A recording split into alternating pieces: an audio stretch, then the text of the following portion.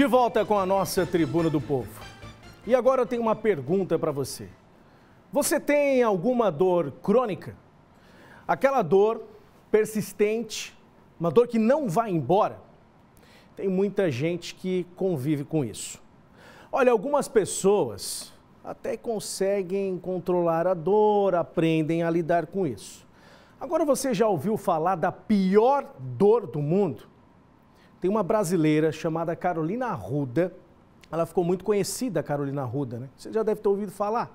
Por lutar para conseguir para outro país, a Suíça no caso, porque ela queria fazer uma eutanásia, porque ela não aguenta mais a dor.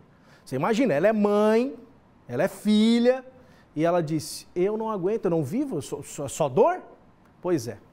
Tem uma pessoa em Joinville que tem a mesma dor dessa blogueira. Uma jovem que tem a mesma condição da Carolina. Estou falando da Indianara. É uma jovem que morava sozinha, trabalhava para pagar a faculdade, fazia faxinas para conseguir uma renda extra e sonhava em ser perita criminal. Estava estudando para isso no último ano da faculdade. No último ano do curso, os planos foram interrompidos. Eu fui conhecer a história da Indianara. Vamos acompanhar juntos agora e entender o que ela precisa.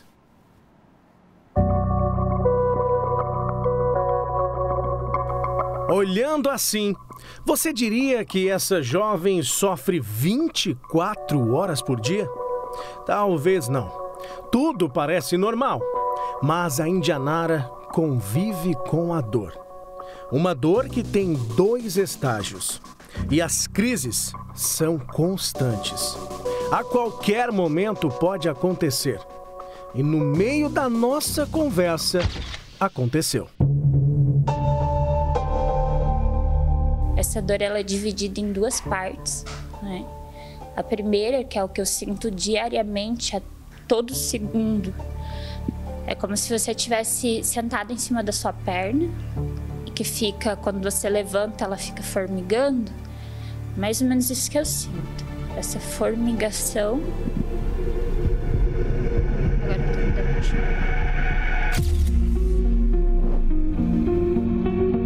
Neuralgia do trigêmeo é uma dor facial intensa devido à disfunção do quinto nervo craniano.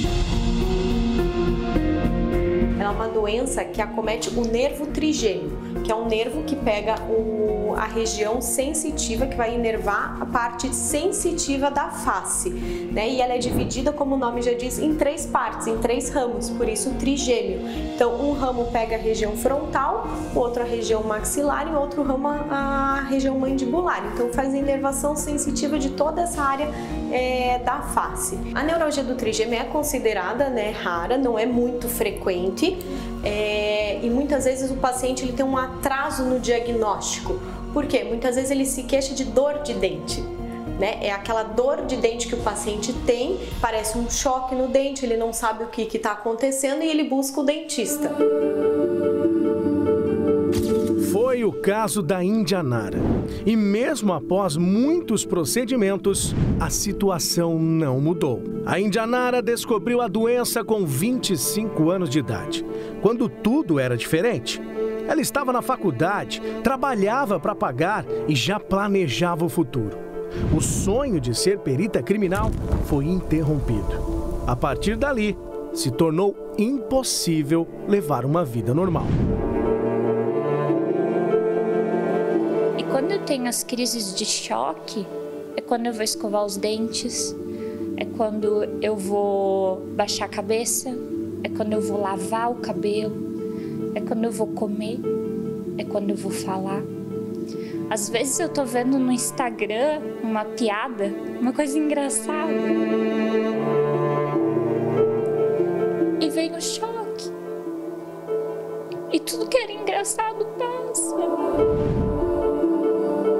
E daí você chega no hospital e você diz o que pro médico? O doutor, eu tava rindo. Eu tava rindo agora e me deu crise. E eu preciso de medicação. As dores são comparadas a facadas e até choques elétricos atravessando a cabeça. A Indianara toma diversos remédios e quando eles não dão conta, o jeito é procurar o hospital. E ela tem até um catéter pronto para receber as medicações. Que não é só a dor física, é a dor de ter que lidar com o outro. É a dor de ter que fazer os outros acreditar que a tua dor existe. É a dor de ter que fazer com que o médico acredite que a tua dor existe.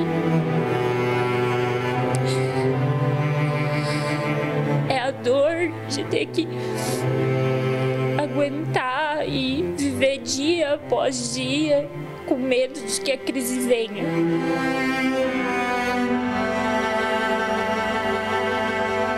Em meio aos momentos difíceis, surge a força do amor entre irmãs. Pela Indianara, a Lucilene se torna uma verdadeira fortaleza. A gente vê muitas famílias, né, não se apoiando. E o apoio é principalmente, na verdade, é tudo, né, na vida de uma pessoa doente. Ela precisa de um apoio muito mais do que dinheiro, ela precisa de um apoio psicológico, né? E a família é tudo, né? E hoje a gente tem a gente tem que se ajudar para isso, né? Para que a, a vida continue, apesar da dor, porque ela tem uma vida apesar da dor. A minha irmã é minha âncora. Ela me mantém aqui. E o sorriso da minha sobrinha. Quando ela chega em casa e diz: Oi, tia, como que você tá? A família tem muitos gastos com consultas e medicamentos. Por isso, eles recebem doações. Quem quiser ajudar de alguma forma pode entrar em contato através do número 47 98842 5150. A comunidade local também se envolve. Dia 18 vai acontecer uma feijoada solidária no salão de festas da paróquia Santa Luzia. Todo o lucro será revertido no tratamento da Indianara. Os ingressos podem ser adquiridos no mesmo telefone. E nós aqui do nosso bairro somos muito bons, pessoas muito boas, e eu tenho certeza e quero agradecer também ao Padre Claudimir por ter cedido, abrido espaço, está nos ajudando muito com a divulgação na igreja. Povo do Panágua, Indianara Gonçalves, filha do senhor Irioni, está precisando muito da sua ajuda. Em meio a tanta dor, vemos a força do amor e do cuidado entre família e amigos. Da Indianara, levamos um exemplo. Apesar de todo o sofrimento, ela pensa no próximo e quer falar por todos que sentem algum tipo de dor crônica. Eu queria só que as pessoas entendessem que nós, com dores crônicas, continuamos, continuamos sendo nós. Existe a Indianara aqui ainda. Indianara que tem vontade de passear, Indianara que tem vontade de ir um restaurante, Janara que tem vontade de comer alguma coisa diferente, mas que às vezes não pode. Tanto por condição financeira quanto por dor. E as pessoas, elas não levam isso em consideração. Elas acham que só porque a gente tem dor, a gente não tem vida.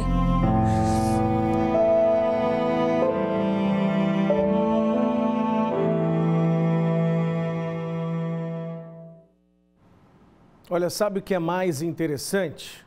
Pelo menos para mim.